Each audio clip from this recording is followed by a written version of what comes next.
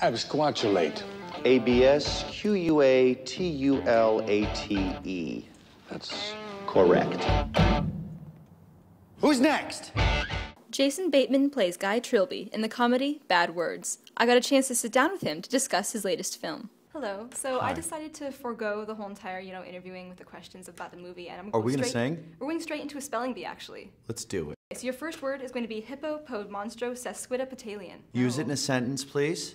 Okay, so I just asked you a question, and the question I asked was, can you please spell hippopotomonstrosesquipedalian? Gosh, you talk so quick. That's what you I can are. tell you that the definition is of or pertaining to extremely long words. Huh. No, I'm just kidding. I'm just H kidding. I P P O. And and I'm gonna stop there, To monstro. No, I'm just knowing that I've got the front part right. Exactly.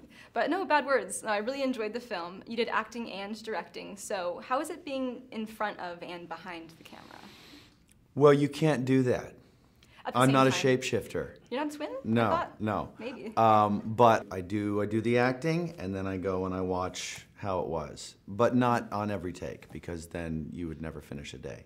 If you kind of know what to look for and what to plan for, and I've I've I've, been at it a while, so got a I little bit of just kind of yeah, I just kind got of some soaked tools up in your belt. But your character, Guy Trilby, was like really a fun character to play, probably. But Yeah. I found myself questioning: Is, is he a good guy or is he a bad guy? Because you know he does a lot of morally questionable things. Right, but there's hopefully there's there's there's something under all of that that you're sensing that will maybe maybe he's allowed to do this because he's he's hurting, he's vulnerable. He's trying to mend something. He got his feelings hurt. So uh, there's that's kind of an enjoyable conflict in the movie, I think, for the audience. Is like I think I, sh- I should be hating this guy, but I'm not. I'm, I, am I, I think I'm rooting for him. And are all the other people uh, the bad people, and maybe he's the good guy. And so that was the challenge of playing him and also building the movie around around uh, that character. Yeah, and your relationship with Chaitanya um, in the film, I, that was probably the most part where I was like, oh no, is he really doing that with that, you know, with that little kid? But how was it um, actually, you know, how was it like working with him? Well, that kid Rohan, he's really really sweet, and and he's a super. He's like a you know he's a professional already at, at 11. He understood that this is not some kind of pie in the face comedy. That it's it's hopefully something a little bit more elevated.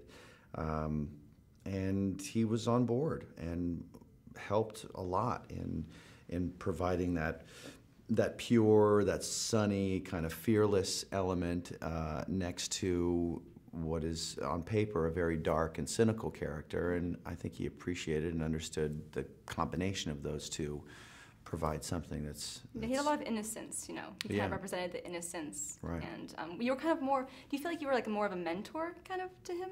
Or like well, in a sense, yeah. I mean, that's that's kind of the again another interesting challenge in the film is you realize, well, this kid kind of needs this guy, and this guy kind of needs this kid, but that there's a, that inevitability of the two of them becoming friends. Yeah, of course, it's there, but I tried to make sure that the journey there is somewhat unpredictable and a bit fresh and and and bumpy and prickly on the way. So if you can spell a word that describes this movie, what would it be? How do you spell awesome? How do No, I don't know. I, awesome? I, I, I, I really loved making it. I'm really happy with the way it turned out. It is not going to be for everyone, but uh, we definitely got to make the movie that we wanted, and uh, I think a lot of people will enjoy it. Awesome. Well, I definitely enjoyed it. Yeah, Thank you so much. Thanks a lot. Bad Words comes to theaters March 21st, and it's sure to be A M A Z I N G. Until next time, this has been Kendall Long. Ice cream. How much to touch them? Let's go ask her. Marzipan! Wanna be a